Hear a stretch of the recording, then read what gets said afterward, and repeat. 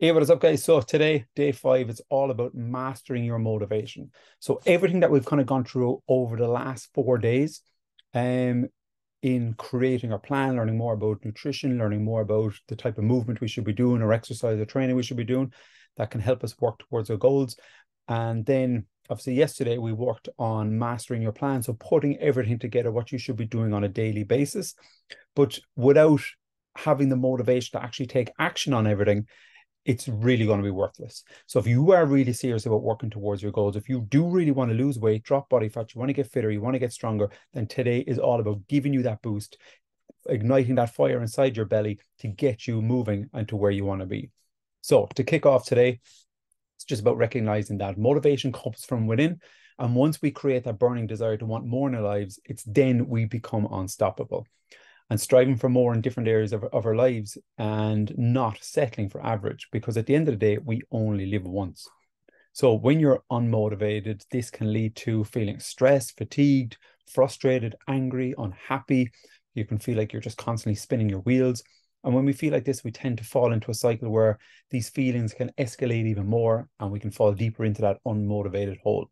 When we feel these things, it's important that we're able to, I suppose, take a step back, look at our life, and take a moment to ask ourselves, what is it that we really want? Remember, nothing changes if nothing changes. And if you keep doing the same thing you've always done, you're always going to end up with the same result. So today we're going to go through some key strategies to help boost your motivation. So the very first part we're going to go through is finding your why. So why is this important to you right now?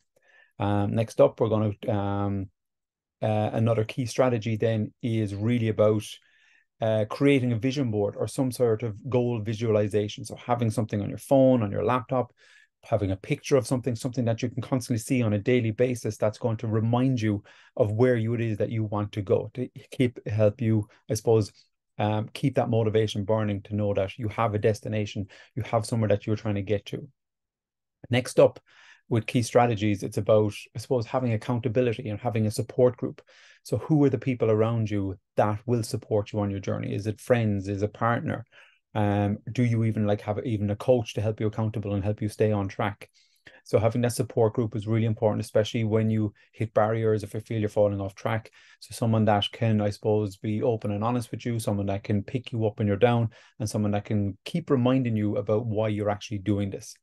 Um, another key strategy as well is about making sure that you are celebrating wins along the way. It doesn't matter how big or small those wins are. The most important thing is that you are recognizing those wins because every win you achieve, it's bringing you that step closer towards what it is that you want to be able to achieve.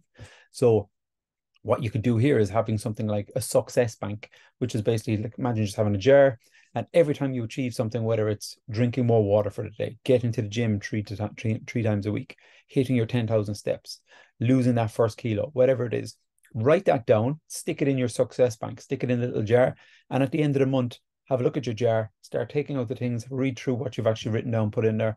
And that will be a massive boost of motivation to show you that you are making progress and that the work you're putting in is actually paying off. Now, the next part of a key strategy is the power of positive self-talk and affirmations.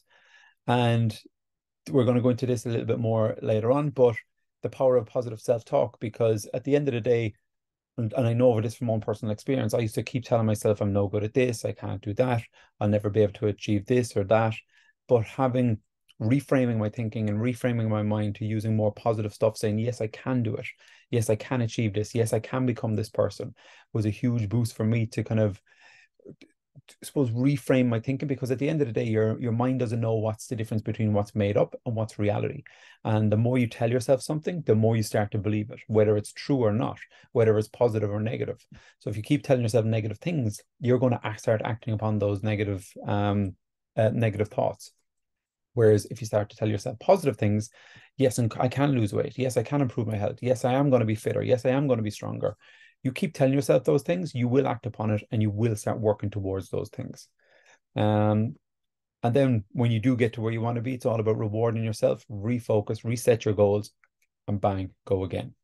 So starting off, um, asking yourself that question, what is your why? So you should probably have this written down already from yesterday's session, But for me, it's about being the best version I can for myself and to ensure I can, I suppose, turn up being an inspiration for my family, my clients. And to be honest, I want to be able to live by example, like having that balanced life, having the energy to keep up with my kids over the years ahead, um, showing up on a daily basis to show my clients that I'm willing to push myself constantly and challenge myself to become so much more. And to push myself and challenge myself, I did something there leading up to Christmas, which was a hundred day cold water um, challenge. So for a hundred days, what I did is I set up a shower outside, and I literally got in the cold water every single day for a hundred days leading up into the, towards Christmas.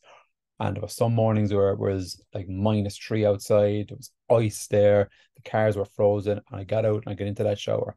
And the goal was to hit that three minute mark every single day. And I did it. And for me, it was about building resilience, building that mental strength, overcoming mental barriers. Because I hate the cold. I absolutely hate it. Sure, anybody that knows me, assuming the gym, I always have a jacket on and a hat on and stuff because I'm always frozen. But to, for me, this was about pushing myself to do something I did not want to do. And it's just like someone wanting to change their eating habits. It is going to be hard. It is going to be tough. And sometimes you have to have the mental battle with yourself to be able to overcome those challenges to improve on your eating habits, to push yourself to go to the gym, to get out and go for a run, to get out and go for walks and stuff like that.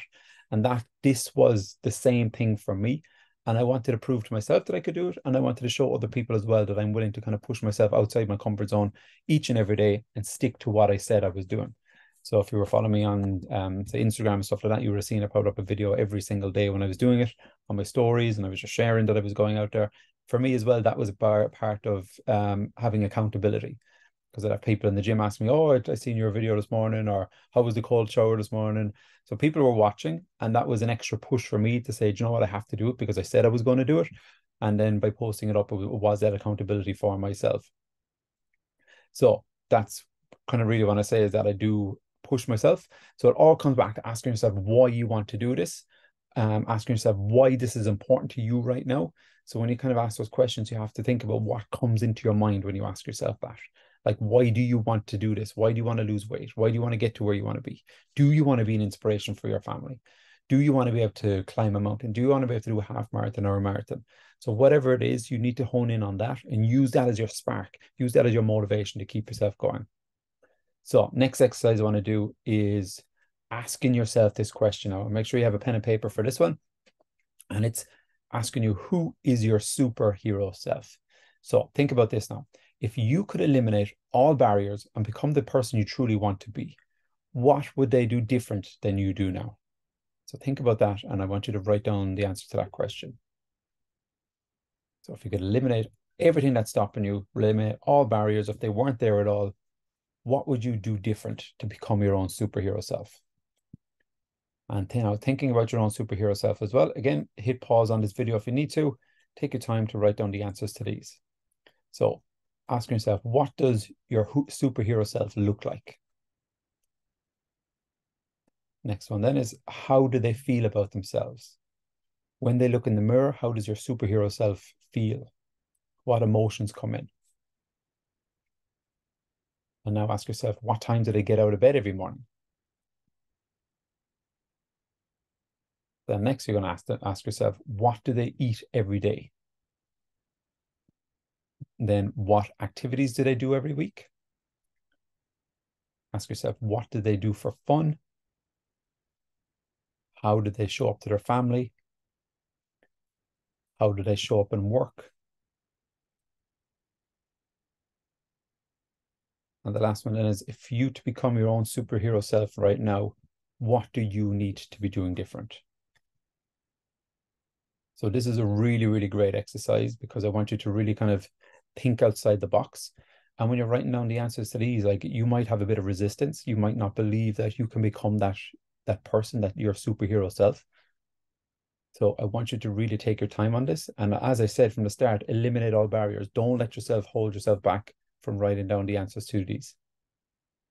Because it is a really great question.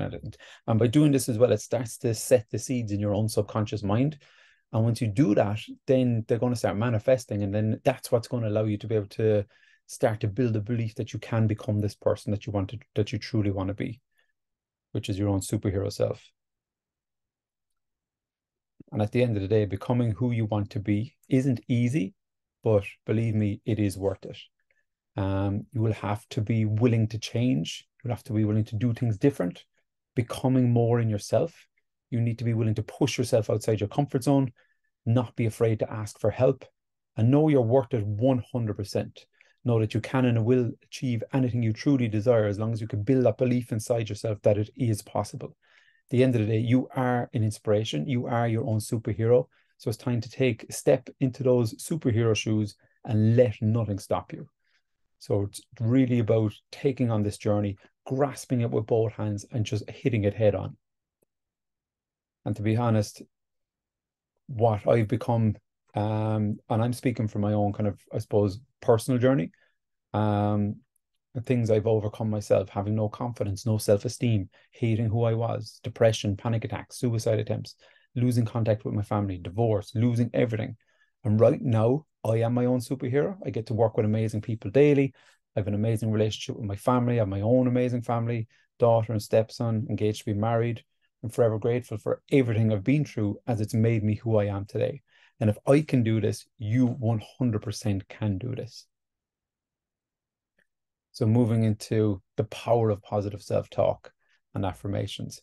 So, again, like I said earlier, this was a huge part for me. And like I said as well, our mind don't know the difference between what's made up and what's reality.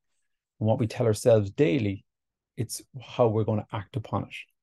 So here's a, an exercise for you. And what I want you to do is take your time on this again, hit the pause if you need to. And I want you to write down three to five powerful self-talk statements that you're willing to commit to saying to yourself on a daily basis. So examples are I am successful, I am happy, I am fit and healthy, I'm living my life to my full potential. I am a loving partner and father. I am an inspiration. I am my own superhero. So try and start um, each of the statements with I am. So you're speaking to yourself directly. Come up with three to five based on who the person you want to become. And again, if you have any resistance against uh, writing these talent things down, um, that means you're on the right track there. If it me- makes you feel a bit uneasy writing them down, again, that means you're on the right track because you're you're stepping outside your comfort zone and pushing yourself, to becoming that person. So again, write down three to five I am statements, and but then you need to commit to saying these daily, because once you do, like I said, you will start acting upon them, and it will it can and will change your life if you do kind of commit to doing this because it's had a massive impact on my whole life. So, guys, that is the end of today's session. So, just a quick summary um, of everything that we've gone through so far. And the first part is ask yourself what it is you truly want to achieve and then work backwards from there. Figure out what your biggest challenges are and set a plan in place to move forward. Plan out your activity and your nutrition for the week ahead focus on positive self-talk that will that you will do daily to help reframe your thinking and your beliefs. Become your own superhero map out the steps you're willing to take to step into their shoes.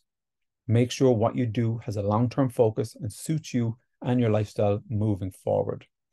And then get help from someone that has walked the path that you want to take. So, guys, I hope you got a lot of value from these five days. Um, as I mentioned yesterday, I do have a coaching program, been working with people now for the last 16 years or so. Like I say, we're putting a huge focus into fitness, nutrition, mindset, motivation, helping you map out exactly what it is you need to be doing to get to where you want to be. And we do this by creating a tailored plan that suits you and your lifestyle, focus on identifying habits that need to be changed and what needs to be introduced, creating a tailored training plan that's fun, challenging, and works for you, and then on top of that as well, you get access into a huge library of educational stuff, recipe books, workshops, and more. And on top of that, we'll have like weekly check-ins to identify any challenges that pop up to keep you moving forward. Now, I did have a couple of people reach out to me yesterday um, that were interested in um, getting started in the program and they got the 20% off. So I do have one spot left. So if anybody is interested in just even getting some info on my coaching program or having a bit of a chat, um, shoot me a message with the word interested and I'll send you on some info. From there, we can book in a call. We can have a bit of a chat. We can see if this actually, if you feel this is going to be a good fit for you. If not, no problem at all. At least then we can you'll have a better understanding what it's all about. And if, if you're interested in getting started, then yeah, we'll get you started, we'll get you set up, and we'll get you moving forward. So again, thank you for taking the time out to watch the video and all the other videos. And I hope you got some value anyway from the last five days. Right, guys, catch you soon.